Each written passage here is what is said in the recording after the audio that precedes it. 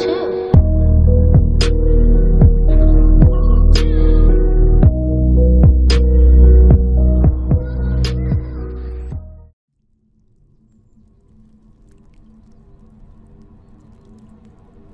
хангаагаас тодорсон өөр нэг овгор ир бол хар хорин сумын уугуул Эренжидийн Дима гэгч юм. Тэрбээр хар багасаа эхлээд өөрөөсөө ах овгоруудтай нийлж байсаар 16 наснда аль хэдийн 90 цент хүрсэн аятай томчуудтай арман зодолдож хутгах шуугиндөө тулж байсан гэдэг. Тиймээс сумынх нь хурган дарганаар түүнийг далдруулахын түүс болж эхлээд өвөр хангаан усны аж ахуйн тэмс рүү цөлжээ. Гэвч тэнд хэдхэн сар болоод сургуулаа орхиод нутагтаа ирж атмандаж гарчээ. Дараа нь түүнийг арх устын тэмс рүү цөлсөн байна. Энд майнер жил гаруй атмандаж байгаа сургуулаасаа хөөгдсөн гин. Тэгээд нутагтаа харж баахан божигнуулж байгаад 22 наснда зүүн баянгийн цэргийн ангид очжээ.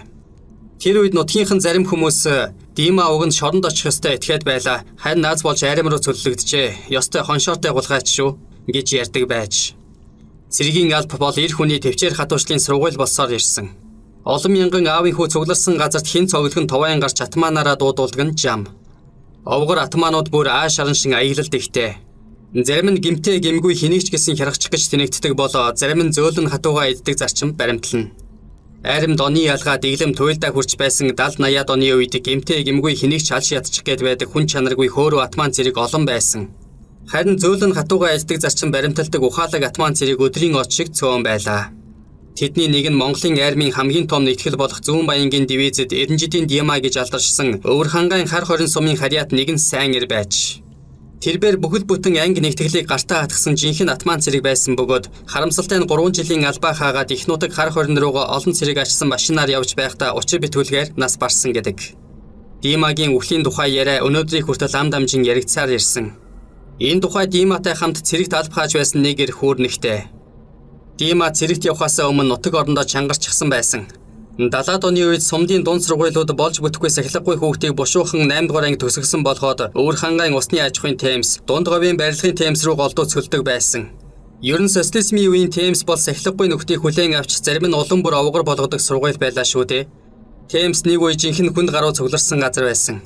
Хар хорны эренжидийн Дима, хужиртын болт пүрв хоёр бол өвөр хангаан усны аж ахуйн темсийг нэг үе азаргалсан.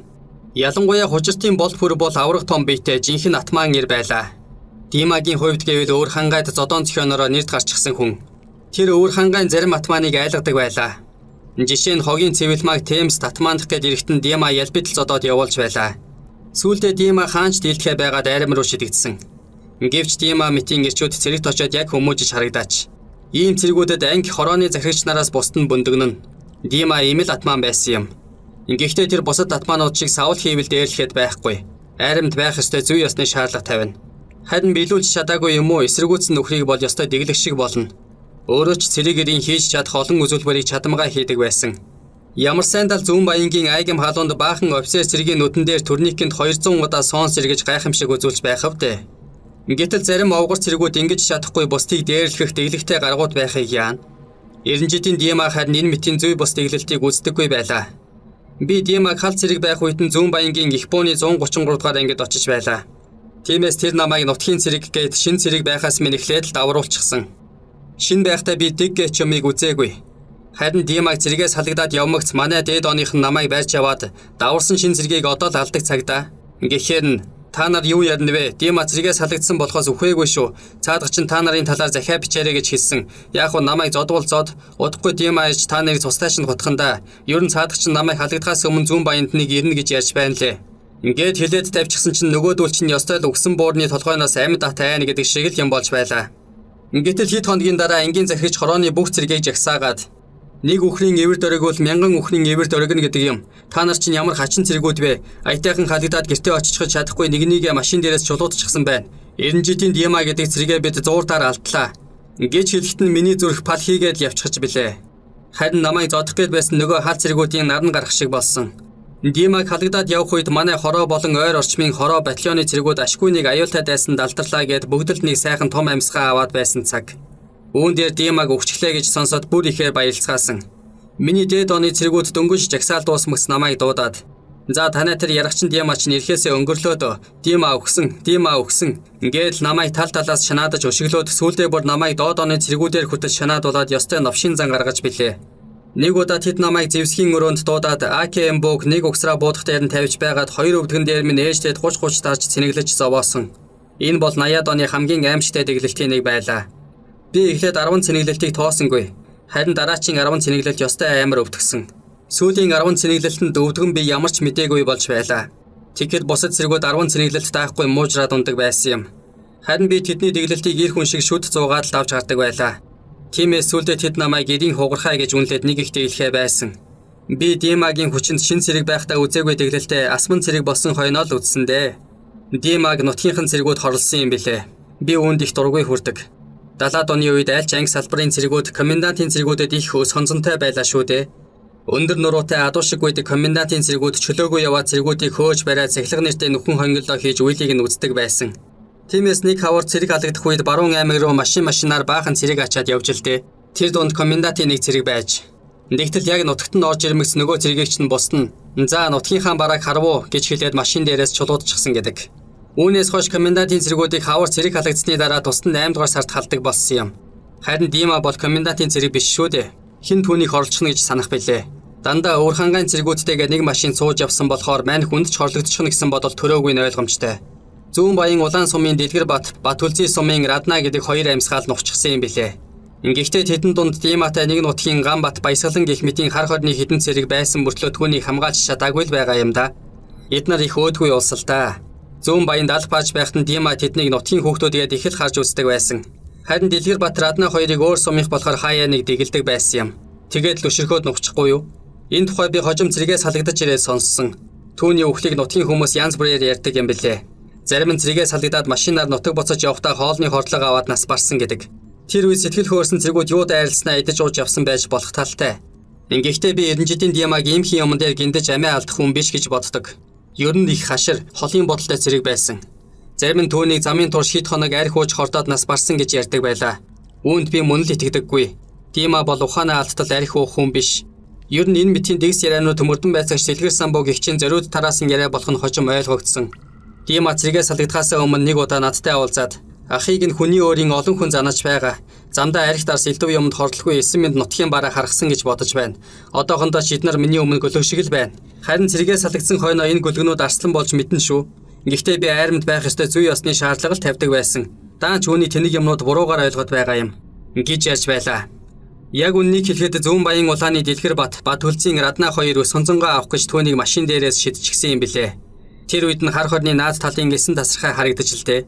Тэгтэл дэлгэр бат Хөөе Дима танай нутаг харагдаж байна. Ямар ч гэсэн чамайг нутгийн чинь бараг харууллаа шүү. Ингээд хүзүүн дээр нь дартал радна хоёр хөлийг нь шүүрч аваад машины твшин дээрээс толгой горн тонгойлгочихсон гэж байгаа.